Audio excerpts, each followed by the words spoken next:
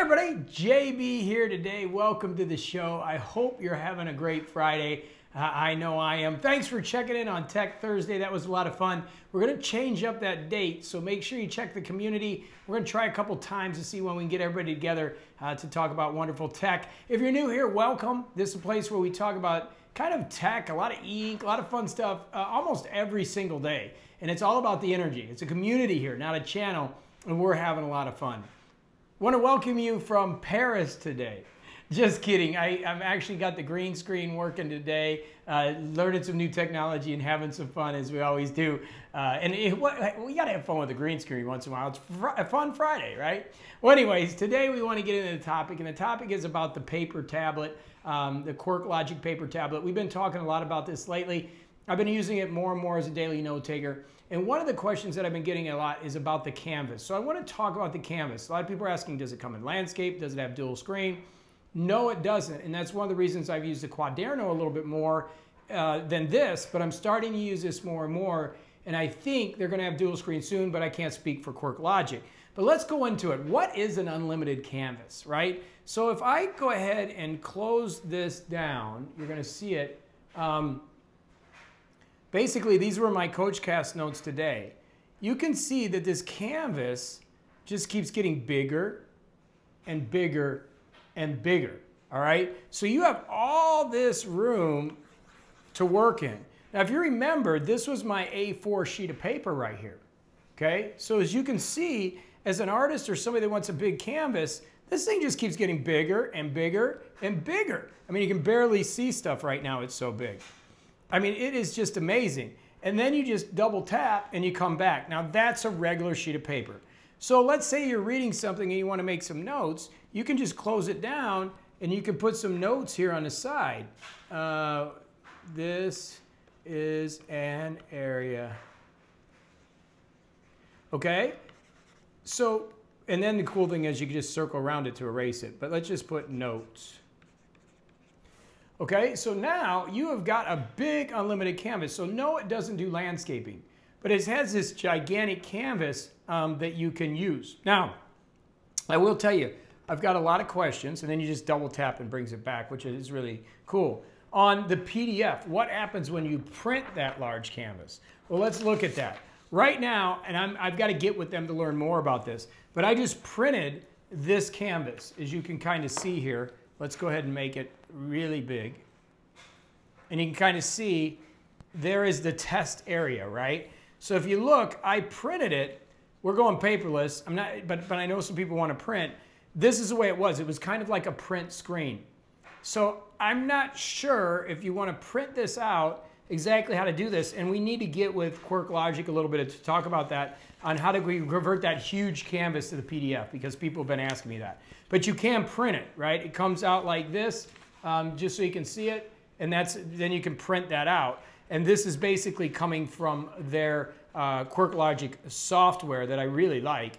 Um, that's that's kind of how it works. But people have been asking me, you know, how do you erase? Well, you just press this button and circle around things, and you can erase things on the uh, on the paper. But I really just wanted to go over this idea of the unlimited canvas because I think that's something this device does that a lot of other devices don't do.